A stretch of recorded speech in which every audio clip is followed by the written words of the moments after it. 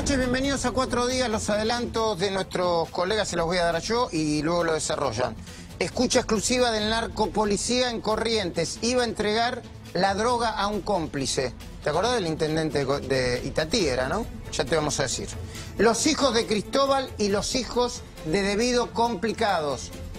Tercera atención, Cristina va a defender a Lázaro en la justicia. Y cuarto, atención, nuevos audios de la banda de la comisaría los tiene, recién los trajo Facundo Pastor. Buenas noches a todos, chicos. ¿Cómo te va, Luis? Buenas noches.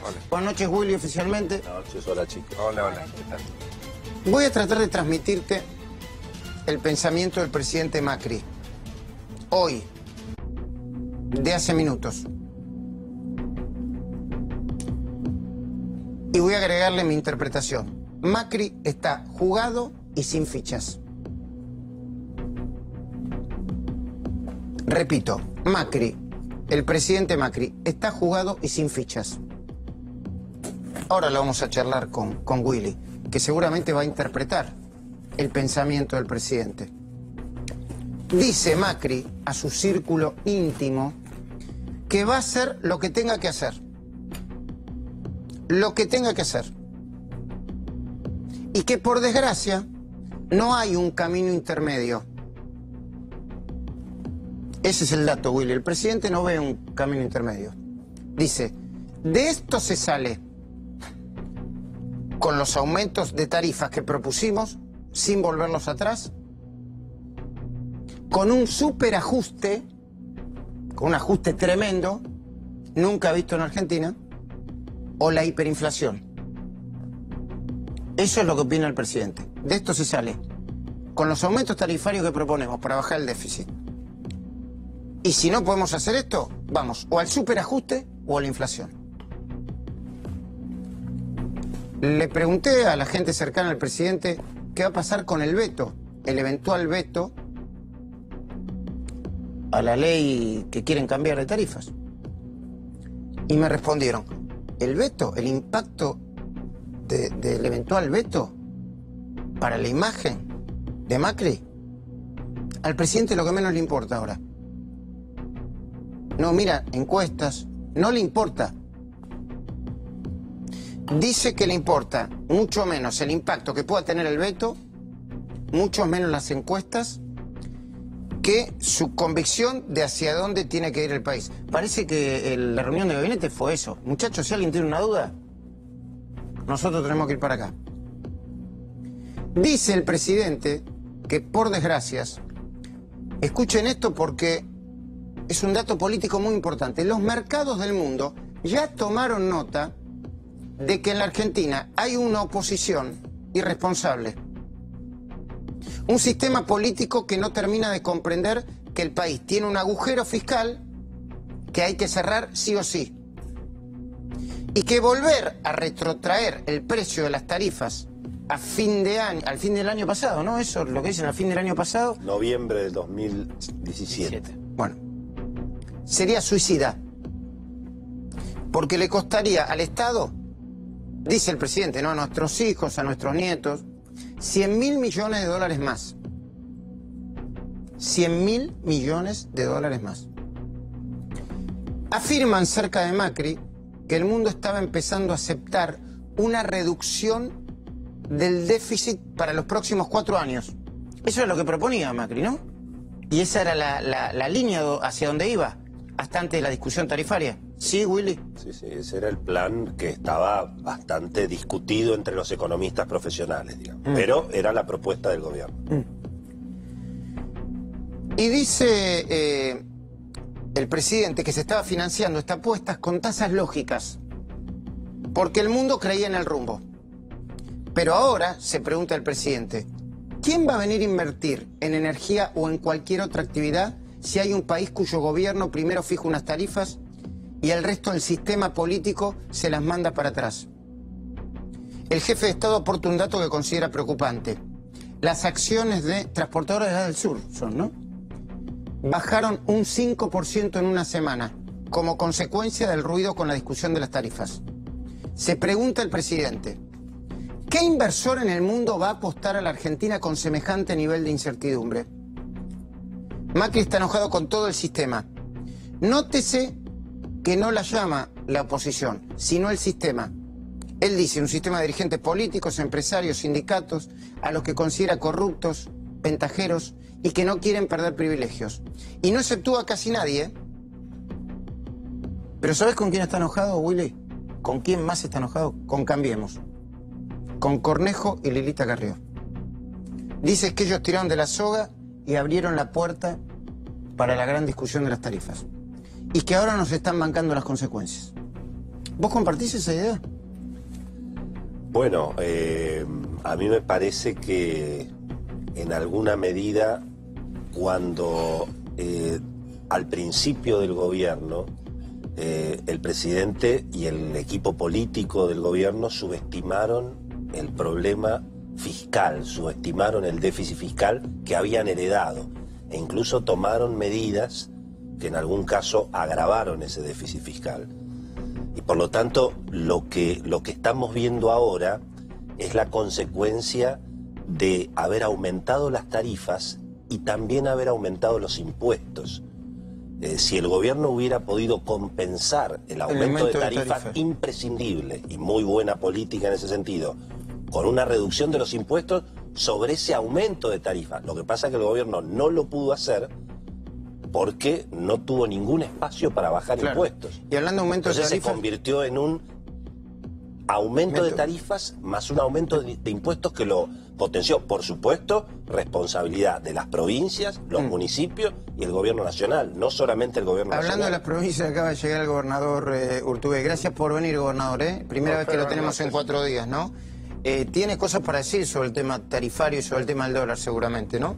Eh, yo le oí decir, Urtubey, últimamente que, que, él está de acuerdo con el aumento de tarifas. Vamos a ver en qué contexto. Bueno, Macri, que está recontra enojado. Yo diría hoy, si, si uno le pregunta cómo está hoy, Macri jugado y sin fichas. Macri le envía a cada formador de opinión que considere influyente datos que estime imprescindibles para comprender lo que está pasando culturalmente. escuchen y miren estos datos porque son muy importantes. ¿eh? Dicen los datos del documento. Primero, que las temperaturas de Buenos Aires, Montevideo y Santiago de Chile son muy similares. Eso no necesitamos corroborarlo, es así. Pero que las tarifas de gas en Chile y Uruguay son un 160% más caras que la Argentina. Voy de nuevo. Las tarifas en Montevideo y en Santiago de Chile son 160% promedio más caras que en la Argentina. Que el consumo de gas necesitaría un vasito de agua en Buenos Aires es un 70% superior al de Chile y al de Uruguay. Voy de nuevo. Gracias, Facundo. El consumo de gas en Buenos Aires es un 70% más importante que en Chile y que en Uruguay. Una locura. Las tarifas vigentes a partir de abril de este año para los meses de invierno y para los usuarios sin tarifa social en este contexto, la distribución de las facturas va a ser la siguiente. El 60% de los usuarios van a pagar menos de mil pesos mensuales. El 20% va a pagar entre mil y dos mil pesos mensuales. El 10% va a pagar, o está pagando, entre dos mil y tres mil pesos mensuales. Y otro 10% va a pagar más de tres mil pesos mensuales. Dice el paper que reenvía el presidente a muchas personas que si en la Argentina tuviésemos los consumos invernales de Montevideo y Santiago, que son mucho más bajos proporcionalmente, las facturas a pagar serían algo menores que las del año pasado, pero con la misma tarifa de abril de 2018. Está claro lo que está diciendo, ¿no? Que en la Argentina se despilfarra la energía. Dice el presidente que según las cifras del INDEC, el total del gasto de los servicios públicos representa, yo creía que era el 21, porque lo leí en La Nación hace un tiempo, el 21% del impacto en el salario. Dicen que es el 8, que representa apenas el 8% de un hogar promedio. Sostienen los hombres del presidente que por más ruido que hagan los diputados que le quieren torcer el brazo, los números de la canasta no mienten dicen que el 9.1% de los gastos de la canasta familiar promedio se distribuye en alimentos, pero que en total es el 8 y no el 21. ¿Es así, Willy? La verdad que eh, en el caso del consumo de gas, efectivamente la Argentina viene de un despilfarro de años, precisamente porque se regaló el gas especialmente a la clase media, y cuesta mucho porque los aumentos efectivamente han sido graduales. Comparar con Montevideo me parece raro porque, porque no hay gas en Uruguay. Ah, claro.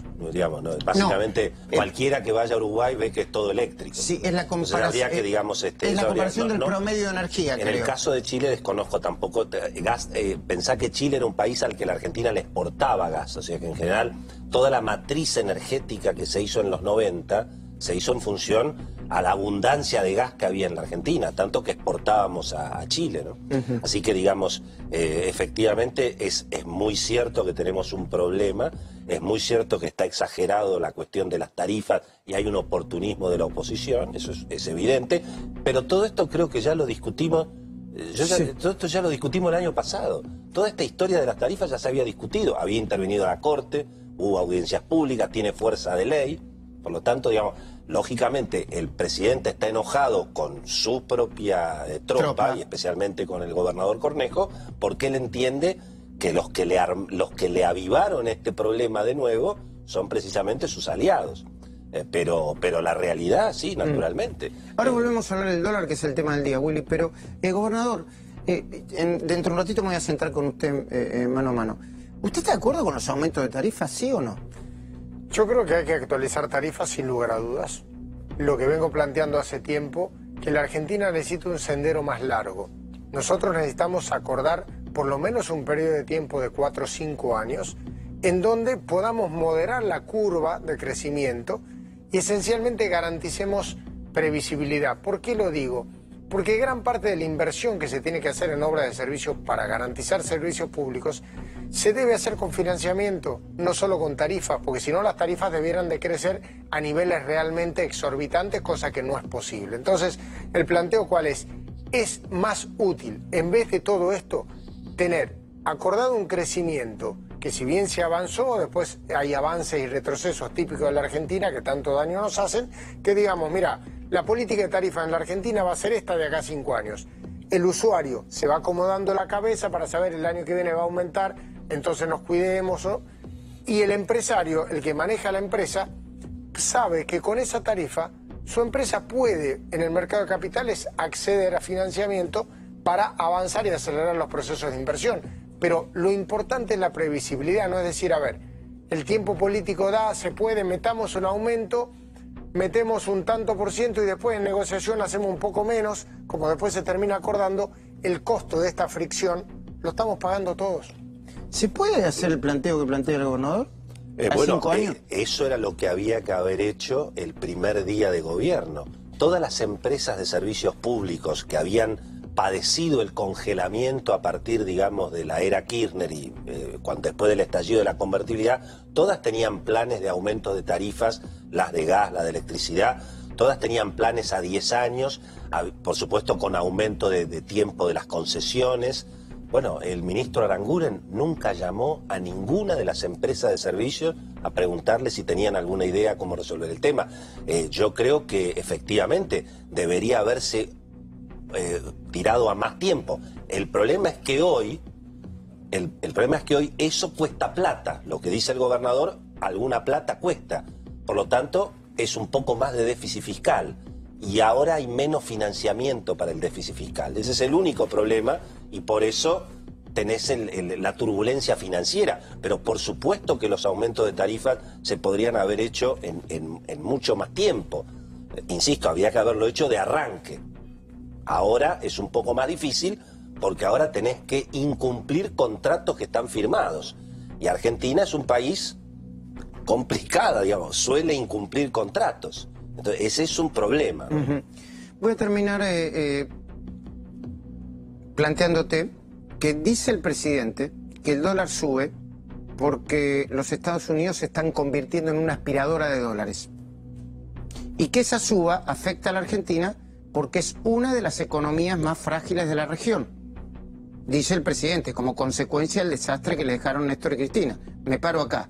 ¿Es la Argentina una de las economías más débiles de la región, Willy? Así es, efectivamente, en eso, pero ese desastre que le dejó Néstor y Cristina en materia fiscal y en materia de proceso inflacionario, eso el presidente lamentablemente todavía no lo pudo resolver. Y por eso estamos viendo en los mercados lo que vemos. Ese es el, ese es el tema. Dice el presidente que Sturzenegger está firme, que la volatilidad se va a ir diluyendo, ojalá y que en mayo la inflación va a bajar. ¿Va a bajar en mayo la inflación aún con todo este ruido? Bueno, depende cómo termine, digamos, esta crisis cambiaria, ¿no? Yo también creo que, como te dije, si el dólar le aplicás la inflación de Macri, digamos, parecería que 24 podría ser un techo. Yo pensé que iba a estar entre 21 y 22. Bueno, da la sensación que en algún punto esa volatilidad se puede tranquilizar. ¿A vos te sorprendió lo que pasó hoy con el mercado? Absolutamente. No, no, ah, no, solamente hoy. Así ya, Yo creo que, digamos, esta, esta corrida que hubo a partir de la semana pasada, yo no la vi ni en colores y en general te digo que sorprendió a todo el mercado, efectivamente. no, se veía venir el, No con tanta velocidad no, la verdad ¿La absorción de dólares por parte de Estados Unidos? Sí, todo eso se viene hablando, efectivamente viene ocurriendo, eso es cierto. ¿El impacto de poner el 5% a las transferencias financieras? Bueno, eso efectivamente, eso fue mal, mal medido, efectivamente, el, efecto... Eso fue una negociación de, de, Cambiemos con masa, ¿no? Bueno, no, ese fue el proyecto del Poder Ejecutivo finalmente. No te olvides que el, el, el que defendió el impuesto a la renta financiera fue el ministro Duhovne entendiendo que era una moneda de cambio necesaria, bueno, para conformar también a un, a un, a un electorado, no te olvides que Cambiemos también tiene un electorado de centro izquierda que también tiene que atender, que lo mm. vea Macri ¿por qué decís corrida bancaria a lo que pasó si, si la gente no fue corriendo? Corrida cambiaria. Corrida cambiaria. cambiaria, ah, corrida cambiaria. Si la gente no fue corriendo a la... No, bueno, corrida, contra, corrida contra el peso, digamos, por, por qué mm. se decide. ¿Y por qué decís que no entendés lo que pasó al final de, de, no, hoy, hoy, hubo, hoy, hubo un, un, movimiento muy raro sobre el final del día, que es que, en, digamos, en, el, en la operación mayorista entre bancos, una operación muy chiquita en el último minuto, en el minuto 90, mandó el dólar de 22.30 a 23 en el mayorista y eso es lo que lo hizo llegar casi a 23.50. No, no, nadie sabe quién es el que compra, el, que vende, sí, solo vende el gobierno ahora. Eh, pero eso llamó un poco la atención porque el volumen es chico, como para que haya subido tanto, ¿no? Y dice finalmente el presidente que cuando... Quiero decir, perdón, quiero decir que es, tal vez el valor mañana podría eventualmente bajar. Todo depende de qué es lo que haga el Banco Central. Pasa que también hay alguna, hay alguna, alguna versión sobre eh, el respaldo a Sturzenegger y los cuestionamientos que hay a Sturzenegger. ¿Qué versión? Bueno, en el sentido de cómo manejó él esta situación, si dejó salir muy barato a los que se fueron con las LEVAC. Sabemos que hay una interna entre el Banco Central y la jefatura de gabinete. Enseguida va a venir Redrado también ¿eh? a explicarnos esto. Todo eso es importante que se, mm. que se clarifique. ¿no? que se clarifique Vos decís que no fue una estrategia pensada, sino que se lo pudieron haber llevado por delante, digamos. Eh, no, no lo sé, eso la verdad que no, eso no, eso no lo sé, pero no ha hecho lo mismo el Banco Central todos los días.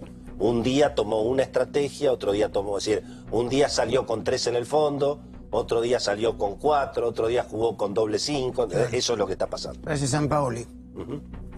Bueno, dice el presidente finalmente que para su eventual reelección falta un mundo, falta un montón.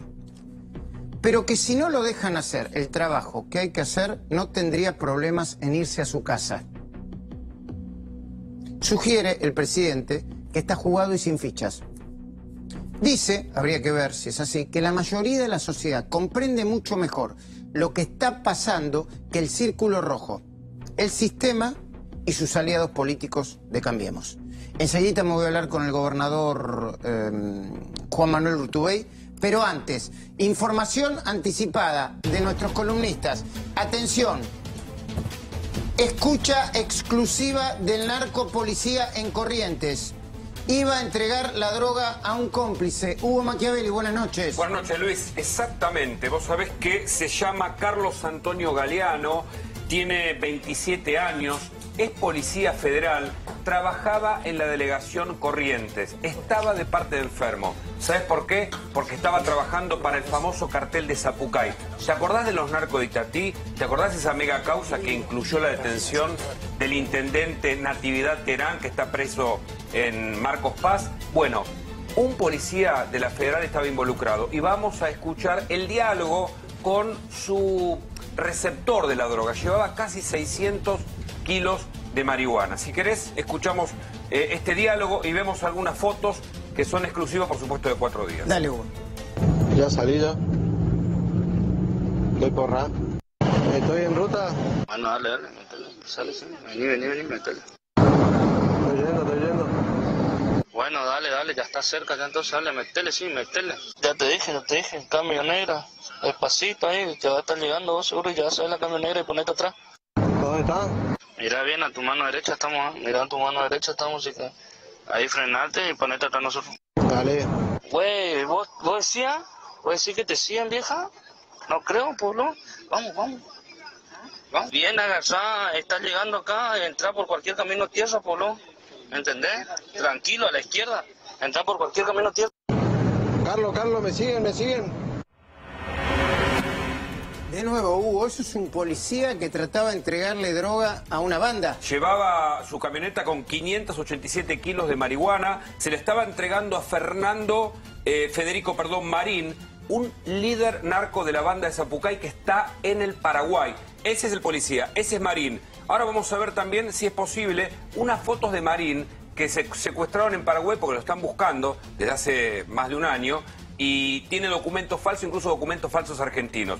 Pero eh, Marín era el- la persona que iba a recibir la droga por parte, reitero, de algo que suena pasajero pero no lo es. Este es Marín, este es Federico Marín, uno de los capos de los narcos de la banda Zapucay, de allí de Itatí, ¿eh? que se conoció como narco Itatí. Esos son los documentos de Marín. Tiene otro nombre. Este hombre está en el Paraguay, pero no lo pueden encontrar. Cuando allanaron su casa, encontraron estos documentos a nombre de otra persona con su foto. Incluso ahí hay un DNI argentino, es falso. Toda esta documentación es falsa. Este hombre está prófugo. Era quien iba a recibir la droga, reitero, de Carlos Antonio Galeano, el otro de la foto, el flaquito, un policía de la Federal, que estaba de parte médico, pero en realidad trabajaba para los narcos. Y un nuevo anticipo antes de hablar con el gobernador Urtubey. Nuevos audios de la banda de la comisaría. ¿eh? La banda que entró a la comisaría de San Justo. Facundo Pastor, buenas noches. Luis, buenas noches. Son los audios que demuestran que esto podría haber sido un desastre. Los vamos a matar a todos y los tenemos que matar a todos. Vas a escuchar quizás el audio, un audio nuevo, más violento de lo que fue el intento de, copamiento a la comisaría primera de San Justo, insisto, la comisaría más importante del distrito más grande del conurbano bonaerense. ¿Estaban dispuestos a esto? Eh, avísame a ver qué te contesta porque eh, tres y media tenemos que estar ahí. Es de tres a cuatro. Yo tres, cuarto, tres y media, yo quiero estar ahí. ¿Entendés? En media hora no, no traen el segundo vehículo. Uno ya, ya sabe que lo tenemos ahí. Después ya está, ya estamos, hora, 40 ya estamos todos, ya estamos todos, ya estamos todos. Después decirle, escuchame, decirle a, a que vaya hasta Paso y que lo vara a la fábrica donde lo llevé hoy, a hablar con el eh, y avisarle que, que, que lo suba al auto y que lo traiga con él. Si, si, recata, si él recató pistola, joya. Y si no, le pasamos una, boludo, no sé. Algo que vamos a inventar. si le recatamos cuatro, ¿no? Si somos cuatro los que vamos a entrar, ¿no? Cinco vamos a entrar. Y va a quedar fuera, maricón. Así que, bueno, si es maricón, que se recate, que, se, que, que recate las chapas. Que recate las chapas y y puede ir tranquilo, porque los pibes se quieren ir con los autos de ahí, pero ni nada para irse con los autos de ahí. Y bueno, después yo ya hablé con ellos como, como más o menos vamos a hacer para, para separarnos, y, porque uno de ellos se vaya por un lado y nosotros nos vamos para el otro. ¿Entendés? Y que tengamos los otros coches. Bueno, vamos a tener que poner la FO, ¿viste? Vamos a tener que poner la FO y vamos a tener que poner el vento. ¿Viste? No sé si el, el, el, o el otro. Después lo vemos. No sé, si sale así, oye. Y si no, bueno, lo reca así no. Porque tranquilo que con su papá. Vos sabés que yo lo escucho, lo veo y no lo puedo creer, que tengo una comisaría a esta altura del siglo XXI. Eh, y además la, la manera de hablar, o sea, primero, obviamente los tipos están recontrajugados. ¿Cómo está la policía? No está bien, ¿no? Facundo. No, no está bien, Luis. El parte médico de hoy no fue el mejor y te quiero dar solamente como cierre un anticipo de la otra causa que preocupó, el intento de robar armas y chalecos antibalas de una otra comisaría, de una suerte de eh, oficina de, de la policía de la provincia de Buenos Aires en Quilmes. Un dato, en verdad es un dato reiterado. El delincuente que atacó el destacamento policial en Quilmes Oeste estaba excarcelado en una causa. Es un joven de 24 años, había sido declarado en rebeldía por el Tribunal Oral número 2, se encontraba excarcelado en el marco de otra causa por tenencia de arma de fuego. Reincidentes, armas en manos de los, de los eh, delincuentes y en menos de 48 horas, dos intentos de atacar directamente al corazón de la policía de la provincia de Buenos Aires. Gracias, Facundo. Después sigo con vos, Lucía, porque hay mucha información eh, vinculada con los hijos de Cristóbal y los hijos de Debido. Y la nueva estrategia Cristina, que parece que va a defender a Lázaro ante la justicia. Acaba de llegar Martín Redrado. Martín, buenas noches. ¿Qué tal? ¿Cómo estás, Luis? Muy bien. Voy un- ahora un mano a mano con el gobernador, pero quiero hacerte una pregunta clave. ¿Se manejó malo y el central? ¿Mañana el dólar puede picar, no sé, a 25, a 26 o es una locura? No debería, Luis. El Central tiene todas las reservas y tiene la capacidad técnica y la idoneidad para poner al dólar en el nivel que quiera. Sorprendió eh, las marchas y contramarchas en el día. Primero subió la tasa de interés al principio, después dejó, cuando el dólar estaba por cerrar a 22.40, dejó que alguien pusiera una oferta a las 3 menos 5 a 23, eh, con lo cual se ve un central errático. Yo espero que mañana tengamos un central determinado, tiene los instrumentos y no debería por qué esto transformarse en una crisis. ¿Un central errático, dijiste, Martín? Un central errático, si vos mirás marchas y contramarchas, subieron la tasa de interés, eh, después terminaron dejando que el dólar corriera. ¿Qué es lo que está haciendo el central? ¿Quiere hacerle pagar a inversores extranjeros que tomaron Levac y que hicieron bicicleta? ¿Quiere hacerles pagar el dólar caro? Bueno, que nos lo explique a todos los argentinos que va a dejar correr el tipo de cambio, pero que va a ser un fenómeno transitorio, porque después tiene las espaldas para volver a la normalidad. Pero en esto subís la tasa, vendés dólares la semana pasada a 4.500 millones a gente que se fue y supuestamente compró el dólar más barato que ahora. Entonces, técnicamente tienen que tener claridad en términos de la política cambiaria, es decir, a dónde van para que entonces la gente le pueda creer. Gracias, ahora, ahora la seguimos. La presencia de Juan Manuel Urtubey acá es muy importante. Primero, primero porque es uno de los dirigentes de la oposición que mejor imagen tiene. Quizá es el que tiene más imagen positiva según las últimas encuestas que vi. Segundo, porque es muy esperada su palabra. Eh, Schiaretti, creo que en las últimas horas, dijo que la política tarifaria la deben definir los gobernadores y no los diputados. Y en tercer lugar, porque hay un mar de fondo que está vinculado con el dólar, pero también con las tarifas. ¿Ustedes quieren ayudar o, quieren, o quieren ver si le pueden ganar a Macri en, en 2019? Lo primero que hay que hacer es ayudar, si no, no hay 2019, digamos. Si nosotros no colaboramos, hay que correrse de la lógica mediocre de decir que le vaya mal al que está, para que después llegue otro y diga yo soy menos peor que el otro que es horrible. En la Argentina eso hay que cambiarlo.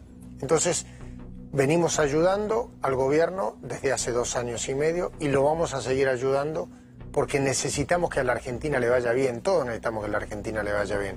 Ahora bien, hay algunas cosas en las cuales lo decía recién, respecto de tarifas, hace dos años que vengo planteando exactamente lo mismo. La Argentina necesita previsibilidad, horizonte a largo plazo, a mediano plazo, establecer una, una curva mucho más moderada que pueda ser pagable. Pero Hoy- comprende que volver para atrás las tarifas. no, no, eso- eso- por eso digo, que eso no esté bien, no significa que esté bien lo otro, que plantea volver a prácticas que ya fracasaron en la Argentina.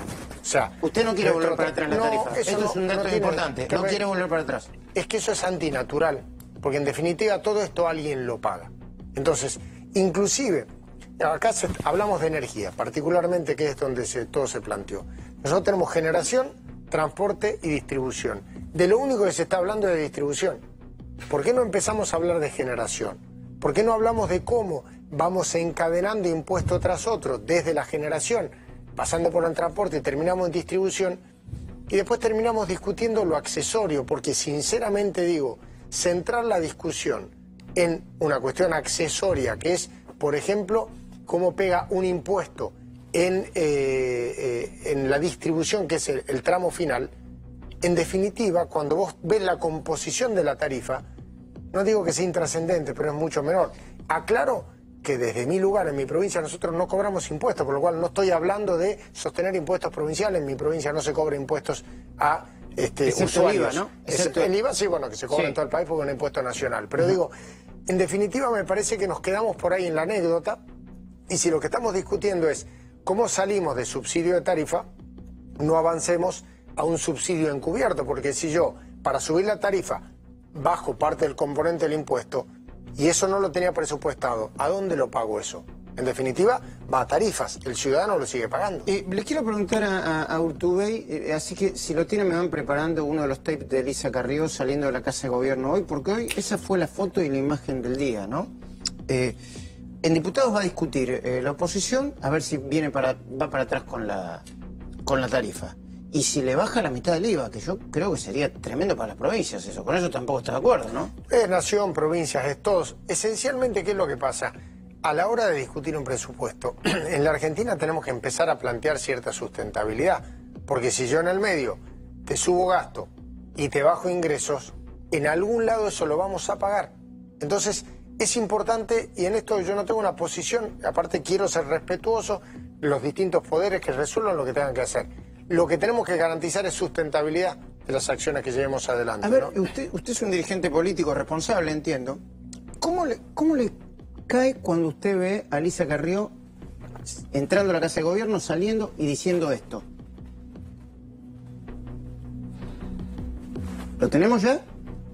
Eh, ahí está. toda la política de la guerra comercial que hoy se está ejecutando, pero para mí está todo bien. Lo que te preguntan es a ellos, lo que a la gente de afuera quieren saber es si nosotros eh, vamos a gobernar y si no va a haber un avance kirchnerista. Eso es lo que le da miedo, la vuelta al kirchnerismo. En esos términos, Lilita, sí te Sí, ah, sí, sí, sí, porque ellos lo que quieren es estabilidad y que se respete la Constitución. Esto de que si sube el do... Escuchen una cosa, chicos. Yo compré el techo de mi casa, ¿se acuerdan? Que saqué el primer libro, Humanismo y Libertad, hace cuatro años. El dólar, yo cambié a dólar, me lo cotizaron a 16 pesos. ¿Se acuerdan que estaba a 16? Cuatro años. O sea que está a 20, a 21. La verdad que es razonable porque si no nuestras exportaciones tampoco... Pero la movida que haya sido Pero ya va a bajar, por eso te estoy diciendo. Yo cambié a 16 y a los dos al mes estaba de nuevo en 12 o en 13. Nosotros nos tenemos que acostumbrar a estas fluctuaciones porque no tendrían por qué estar alterando lo interno. Y esto está pasando en todo el mundo producto de la política de Trump, que ha subido las tasas de interés. Hoy los bonos del Tesoro son impresionantes lo que dan. Eh, y hay una guerra comercial mundial. Ahora, vos hablaste hoy van a impactar en la inflación, este, porque hay muchos precios atados a la- a- al dólar. Eh, eh, ¿Cómo le, cómo le, Yo respeto la opinión de todos. Lo que pasa es que me parece que el foco lo tenemos que poner en resolver los problemas. Digamos, la discusión, kirchnerismo, no kirchnerismo, ya es antiquísima, sinceramente. Sí, desde pero hace dos salió años y Cristina medio. y Kicillof a dar eso, clase de economía. Pueden decir todo lo que quieran decir, pero me parece que en la Argentina de estos problemas salimos por arriba, no por el espejo retrovisor. O sea, eh, plantear este, cuál es la lógica y la política de servicios públicos que tuvimos hasta hace dos años, ya todos sabemos que eso no funcionó, creo que los argentinos plantean. Entonces, bueno, planteemos qué vamos a hacer para adelante. Entonces, esencialmente, nosotros necesitamos una Argentina con mayor solidez fiscal, necesitamos que en la política económica en la Argentina no tengamos esta obsesión por solamente discutir de política cambiaria. Acá, en el mejor de los casos, si somos ambiciosos, discutimos política monetaria. En la discusión de política, eh, en política económica argentina, pasa que el dólar- Martín hace unos días en algún lado que eh, hablabas de eso. Y es tal cual, o sea, en la Argentina nosotros nos quedamos hace décadas discutiendo solo una porción. Hay que discutir algo mucho más grande para discutir algo sustentable en materia de política económica. ¿Cómo garantizamos competitividad de otro lugar? ¿Cómo damos realmente dinamismo a los sectores productivos? O sea, creo que la Argentina requiere, y todas estas cosas que pasan, está bueno que nosotros podamos tener no solo este, la visión de un legislador, un dirigente o lo que sea que te diga, no, quédate tranquilo, está bien. Cuando vos te fijaste metas a todas luces incumplibles, en la Argentina lo que necesitas es salir de la lógica, bueno, ya se va a acomodar, que vayamos teniendo más certezas. Hay que correrse de la fe, la fe la dejemos para la religión, para esas cosas. Hab- Hablemos sobre lógicas, sobre certezas, que es lo que necesitamos a la hora de necesitar inversiones, a la hora de una Argentina que lo que requiere es más previsibilidad, ¿no? Gobernador, gracias por haber venido. Sabemos que tiene que hacer, así que lo- le, le agradecemos que haya venido hasta acá por primera vez a cuatro días. ¿eh? Enseguida me voy a sentar con Martín Redrado, pero Lucía Salinas, atención, los hijos de Cristóbal y los hijos de Debido complicados. ¿En qué sentido, Lucía? Buenas noches. Buenas noches, Luis. Eh, así es, los hijos del poder, podríamos decir, los dos hijos de Cristóbal López, Nazareno Sí. de, 31, de 33 años y Emiliano de 31 años, están próximos a ser llamados a indagatoria por el juez Julián Ercolini en una causa en la que son investigados, junto a su padre, por lavado de dinero por haber realizado distintos negocios con Osvaldo Sanfelice, un hombre de extrema confianza de Cristina Kirchner. Pero no es el único problema para los hijos de Cristóbal López. Hay otra causa en trámite que va a poner el foco sobre ellos. Allí los tenemos. Emiliano y Nazareno están imputados por lavado de dinero. Llegaron a integrar cerca de 30 empresas con solo 20 años, empresas del grupo Indalo, y los investigarán por la venta del conglomerado empresarial, el grupo Indalo. Una, de- una venta que la justicia está determinando a ver si ha sido fraudulenta o no. ¿Por qué los investigan a ellos? Porque son dueños de una porción accionaria que se vendió cuando el juez Julián Ercolini había prohibido cualquier operación al respecto. No son los únicos hijos complicados. Los hijos de Julio Devido también están bajo la mira de la justicia. Estamos hablando de Santiago, de Facundo y de Valeria Devido. ¿Por qué? Porque el juez Luis Rodríguez sospecha de que podrían haber sido, destinatarios de fondos que ha adquirido su padre durante el periodo de 2003 a 2015. Todos los años en los que Julio Devido fue ministro y esta investigación es por un presunto enriquecimiento ilícito. La justicia ya pidió información a distintos organismos del Estado para ver en qué estado están los patrimonios de los hijos de Julio Devido. Y después hablamos de los hijos de Lázaro, ¿sí? ¿Cómo no? Bueno, Martín Redrado, eh, qué momento difícil el de hoy, ¿no? Qué día... Sí, el, el peor día en lo cambiario desde que asumió Macri. Sí, sin duda. No has tenido. Bueno, cuando unificaste el cepo, pero era una salida que era por la herencia que te había dejado Cristina, y todos sabíamos que el tipo de cambio eh, real estaba muy por encima de los 9 pesos con 50. eh, digamos, salvo eso, que era la herencia pasada, en un día nunca tuviste una devaluación del 9%, como pasó hoy. Y Hoy la moneda argentina pe- perdió un 9%. un 9%. Y, y ¿por compa- y comparado con la región, porque te dicen, no, es un fenómeno regional. Bueno, ninguna moneda perdió más de un 1%. Entonces, de 1 a el- digamos, casi todo, en promedio las monedas latinoamericanas, el 10% de lo que se evaluó la moneda argentina. ¿Qué Si la está moneda pasando? 10 veces.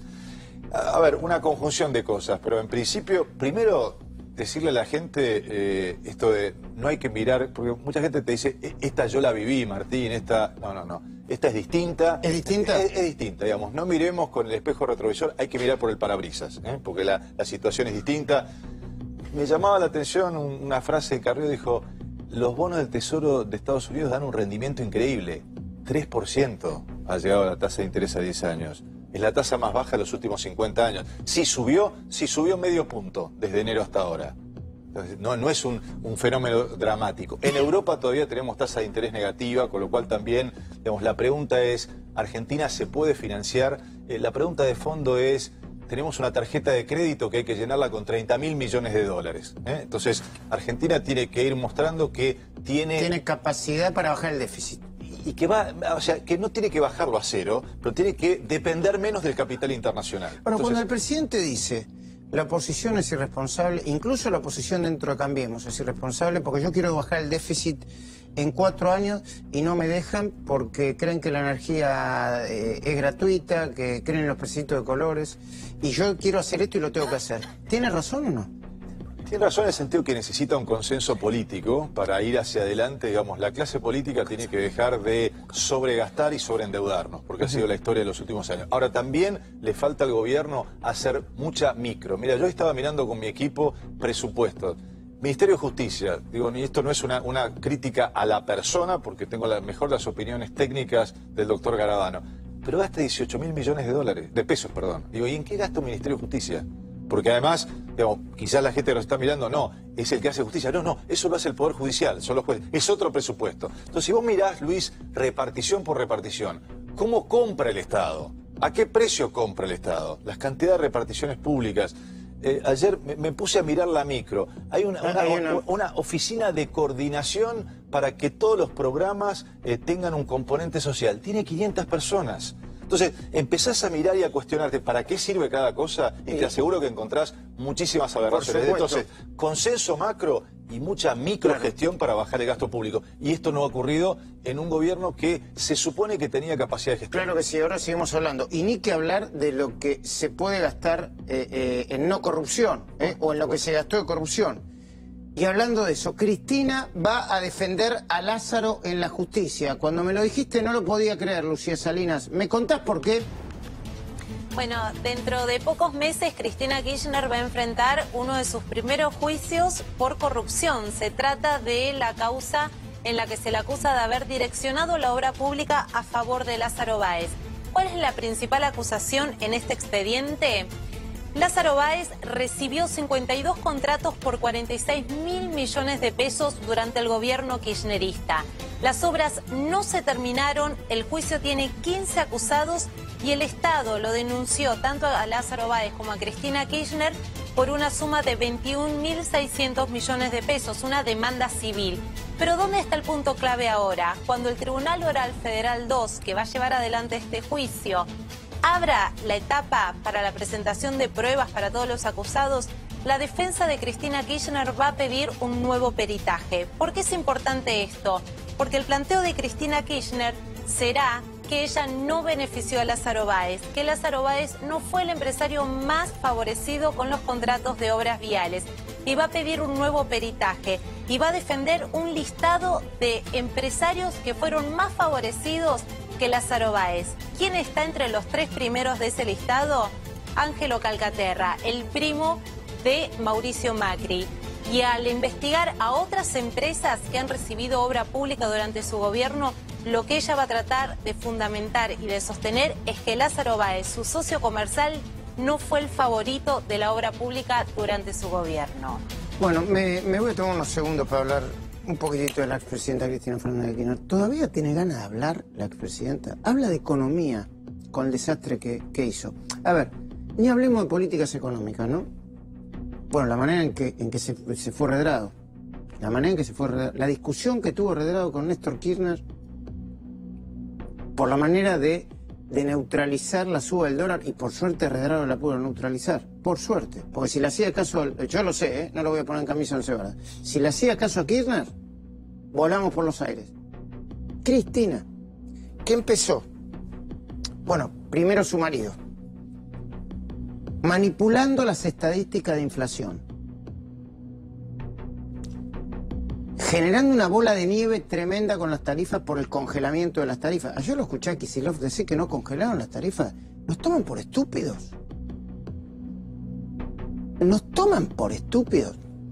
El mismo Kicillof que me dijo a mí en la cara, no, no vamos a medir la pobreza porque no queremos estigmatizar a los pobres. ¿Se atreve a hablar de economía con el desastre que dejaron? Eh, dice que es el pasado, Cristina, y probablemente sea el pasado, pero hace mucho ruido en el presente. ¿Querés mirar el tuit que escribió? Míralo. De los cinco precios más importantes de la economía, el gobierno ha hecho estallar tres. Tarifas, como si ella no hubiera tenido nada que ver, dólar y tasa de interés. Como no podía ser de otra manera, esto impacta directa y negativamente sobre los otros dos, salarios y precios de los bienes. Bueno, a ver, puede hacer el análisis que quiera.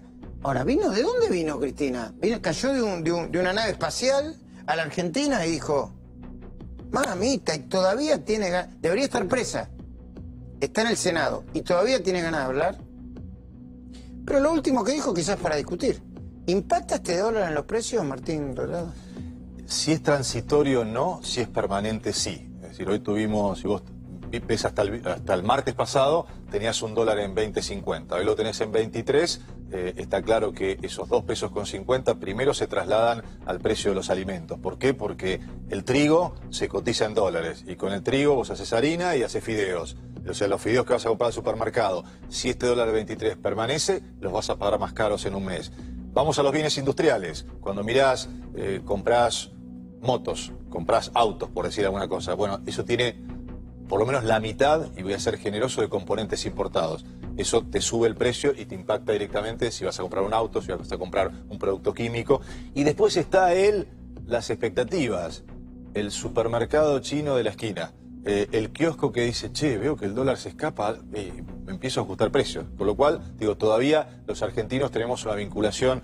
Es un precio muy importante el dólar en la economía y por eso es tan importante mostrar que el gobierno y el Banco Central tienen la capacidad de administrarlo como corresponde. Martín, ¿cuánto, eh, eh, ¿a cuánto cerró el dólar hoy? 23. Mm. Eh, ¿Qué harías vos si fueses el presidente del Banco Central? No me contestes ahora. Bueno, Superpréstamo hipotecario de Santander Río. Te prestamos hasta 15 millones de pesos. Podés pagarlo en hasta 30 años. Es fácil. Pedir online, seas o no cliente. Santander Río.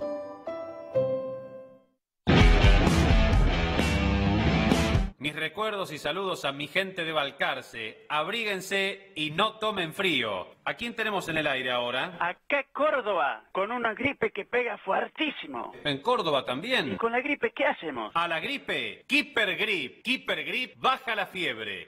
Keeper Grip descongestiona. Keeper Grip calma los dolores de cabeza, musculares y articulares. Y para el decaimiento, Keeper Grip tiene cafeína. A la gripe, Keeper Grip. Pregúntele a su farmacéutico. Un medicamento de Montserrat y Eclair.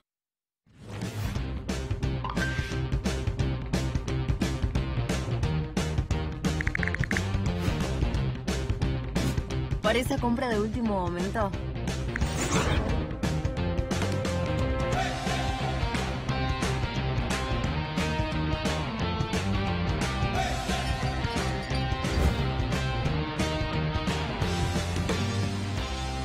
Asegúrate de que esté abierto.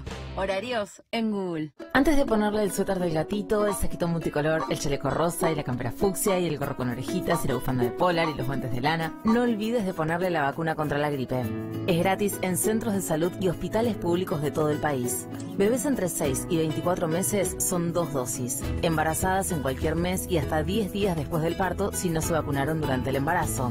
Personal de salud, mayores de 65 años y niños y adultos con enfermedades inmunológicas y crónicas tienen que vacunarse. Juntos podemos cuidar la salud de todos.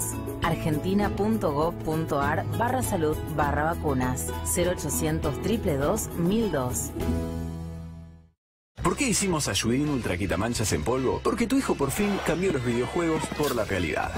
Y entonces pasa esto. Y esto. Y esto. Para cada mancha por venir, Ayudín Ultra Quitamanchas en polvo. Nada mejor para remover hasta las manchas más difíciles. Ayudín Ultra Quitamanchas en polvo. Las manchas difíciles se van, las historias se quedan. Me escribió mi primo, el de España. ¿Qué dice? Marquitos, ¿qué pasó con esta Claudia? Me gustaba más la otra. Decirle que a mí me gusta más la moto y mira dónde estoy. Bueno, la mote. Escúchame, sé que estás con la compu. ¿Por qué no te fijas qué onda los préstamos personales en el Galicia? Que quiero convertir el vestidor en un escritorio. El vestidor en un escritorio. Dale, Marco, dale. Que tardo más en explicarte la voz que ellos en darme el préstamo y te lo dan online. Ahí está. Ahí está. En pino busca, ¿eh? No, madera laqueada. No. Es caro, pero dura, toda la vida. No. Toda la vida. No. Para siempre, mi amor. Pino. Pedilo en bancogalicia.com.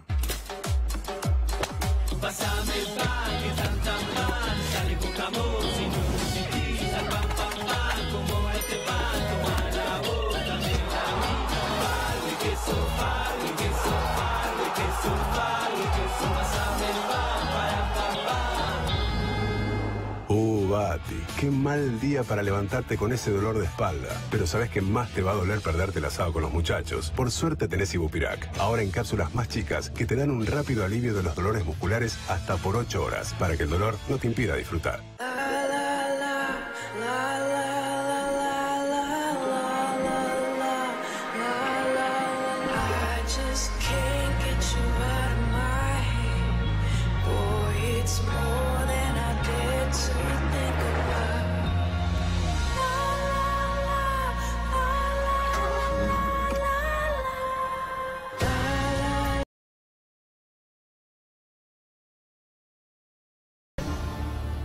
Saludos a todos allá en Aluminé. Abríguense y no tomen frío. ¿Y ahora quién tenemos en el aire? Tucumán presente, Nacho, con frío y una gripe que pega fuerte. ¿Allá también? ¿Y con la gripe qué hacemos? A la gripe, Keeper Grip. Keeper Grip baja la fiebre. Keeper Grip descongestiona. Keeper Grip calma los dolores de cabeza, musculares y articulares. Y para el decaimiento, Keeper Grip tiene cafeína. A la gripe, Keeper Grip. Pregúntele a su farmacéutico. Un medicamento de Montserrat y Eclair. Llegó Telecentro Play. Bájate la nueva app Telecentro Play gratis en tu celu, compu o tablet. Ahora mira la tele, el mundial, noticias, series y películas. Cuando, dónde y cómo quieras. Activa tu cuenta en telecentroplay.com.ar y descarga la aplicación. Telecentro, te conecta todo. Vacúnate contra la gripe y el neumococo. Es importante que todos los años te apliques la vacuna antigripal. Además, vacunarte contra el neumococo te protege de la neumonía y la meningitis. Las vacunas son totalmente seguras y gratuitas. Encontra tu punto de vacunación más cercano en www.pami.org.ar o en el 0800-222-2233. Juntos podemos cuidar tu salud. PAMI. Cosas que podés hacer en 3 minutos. Cepillar más dientes de los que tenés. Desinfectar el baño con ayudín lavandina en gel. Darle me gusta a todo. Limpiar a fondo la cocina. Bajar ese postre de anoche. Hacé tu vida más fácil con una lavandina más espesa que se aplica directo sobre cualquier superficie. Ayudín lavandina en gel. Nueva imagen y nuevos tamaños. ¿Qué es crecer para vos? ¿Pudiste entrar, Abu?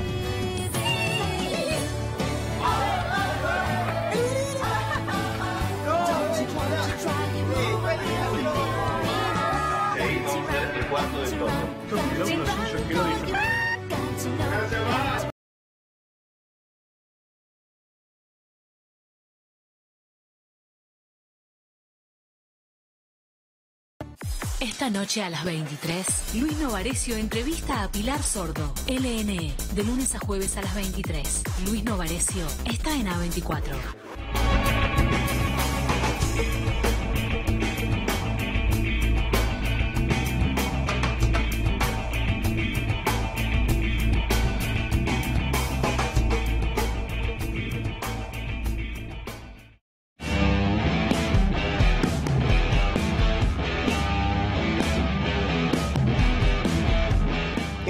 Machiavelli, prepárame la declaración de Scioli, por favor. Sí. Eh, ¿Qué harías vos si estuviese enfrente del Banco Central? Me parece que el rol de los que ya estuvimos es ayudar, ayudar a que las cosas se resuelvan. Entonces, ¿qué es lo que uno puede decir? En este momento es muy importante que el Banco Central trabaje en la superficie y en la profundidad de los mercados financieros. ¿Qué tiene que hacer? Abrir todas las ventanillas de liquidez eh, para mostrar que tiene los dólares suficientes en el mercado presente, en el mercado futuro, sin actuar en forma monopólica, pero mostrar que tiene tranquilidad y que cuando interviene lo hace en forma contundente. Entonces, primero, todos los instrumentos, Luis, para recuperar la demanda de pesos. La gente tiene que volver a demandar pesos y tiene los instrumentos el Banco Central para hacerlo. No, no solamente tasas, sino mostrar, eh, ¿querés dólares? Te doy dólares contra bonos, te doy dólares contra Levac, te doy dólares contra lo que quieras, porque para eso los tengo. ¿eh? Tenés- Mostrás que tenés billetes. Y una vez que paraste la corrida, ahí necesitas un plan económico en donde empieces a balizar el camino y darle un horizonte a la gente. Los problemas tienen, solución, ¿eh? pero dale un rumbo de hacia dónde va a ir el consumo, hacia dónde va a ir la inversión. Se necesita hoy un programa económico que nos permita extender la vista por lo menos a dos o tres años.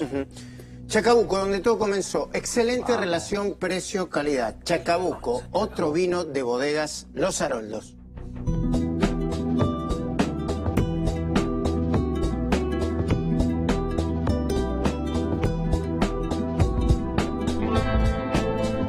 Chacabuco, donde todo empezó, de Bodega Los Haroldos. Hugo Machiavelli declaró Scioli primera indagatoria al ex gobernador y hoy diputado nacional. Dale. Exacto, por el artículo 308, por negociaciones incompatibles con la función pública, por haberle otorgado 117 millones a un empresario muy cercano, Ricardo Stanislao Miller, quien invirtió a su vez en Multiespacio Laniata, en lugar de Scioli, a través de su propia sociedad y la sociedad de Scioli. ¿Sabes qué dijo en una declaración de 86 páginas? ¿Qué dijo? Que Miller Building International ganó todas las licitaciones para la construcción de los UPA. Y se le pregunta, por ejemplo, pero Miller nunca había hecho obra pública, desconozco, dice Scioli. Por supuesto se declara inocente y en cada uno de los párrafos lo refuta. Dice que la inversión que hizo Ricardo Miller eh, en su espacio eh, no tiene que ver con algo económico y por supuesto desconoció cualquier delito, pero atención, es el primero de los nueve procesos que enfrenta el ex gobernador en este caso, procesado según el artículo 308 del Código de la provincia de Buenos Aires. Gracias, Hugo Machiavelli. Última pregunta, Redrado. Si lo llama el presidente y le dice qué hay que hacer, ¿usted qué le dice? Un plan económico. Un plan, un plan ¿Lo económico. que no tiene plan económico? no? Tiene un enfoque de política económica. Cuando uno pregunta hacia dónde va la Argentina, va hacia la normalidad. Y yo creo que la Argentina no solo necesita normalidad, sino necesita transformación. Una transformación para sacar a la gente de la pobreza, una transformación para que el crecimiento no sea para algunos sectores sí y otros sectores no. Entonces hay que decir, acá hay que poner en marcha las tres ruedas que tienen que andar en cualquier programa económico. Tiene que andar la rueda del consumo, tiene que andar la rueda de la expansión de la capacidad productiva y tiene que andar la rueda de las exportaciones. Generar dólares genuinos, no dólares financieros, no a- alentar la bicicleta para que inviertan en Levac. Para esto necesitas un programa económico que balice el camino. ¿Cuáles son las tres cosas que tiene que manejar el presidente o el gobierno a tres años vista? El gasto público, Luis, la emisión monetaria y las políticas de ingreso, es decir, salarios y jubilaciones, todas tienen que ir hacia un mismo número. Un plan económico convergente, consistente y que nos dé un horizonte que hoy la Argentina no tiene. Gracias, Martín. Gracias, Luis. ¿eh? Facundo Pastor presenta a Luis Novarecio. Sí, eh, Luis, yo, eh, a ver, eh, gracias a todos, básicamente a los columnistas. Entre los columnistas, el mejor, sin duda, Facundo Pastor. No hay duda, abrí la boca, no se te entiende. No hay duda. Eh, mañana volvemos, con- mañana no venimos, ¿no? Mañana No, es viernes. mañana. Majul nos liberó. Una 20, día a la semana nos liberó. domingo- días te llama. El domingo 20.30 la cornisa. Domingo 20.30 la cornisa. y no se olviden. Mano a mano con Daniel Haddad. Mano a mano con Daniel Haddad. Y no se olviden, Maje del Mundo, No.